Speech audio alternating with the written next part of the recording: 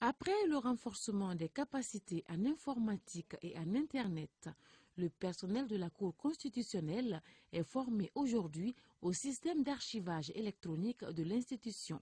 Ce produit, en réalité, si on devrait l'acheter, il coûterait un minimum de 65 millions. Et nous l'avons développé presque gratuitement parce que les ingénieurs maliens ont les compétences. Et c'est une preuve aujourd'hui pour montrer euh, au peuple du Mali que voilà, nous devons faire confiance à, nos, compatriotes, à nos ingénieurs. La Cour traite euh, des tonnes de, de dossiers physiques qui vont être désormais sécurisés, numérisés et disponibles en temps réel et la recherche est encore plus facile. En quelques secondes, vous pouvez rechercher un document qui date des années 60. Ce projet d'archivage des données est piloté par l'AJUTIC, financé par l'Union européenne et réalisé par Essabora.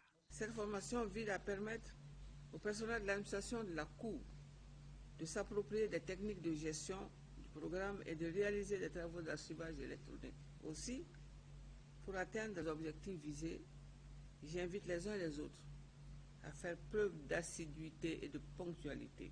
La session va s'étaler sur trois jours et va concerner les agents de l'administration de la Cour constitutionnelle.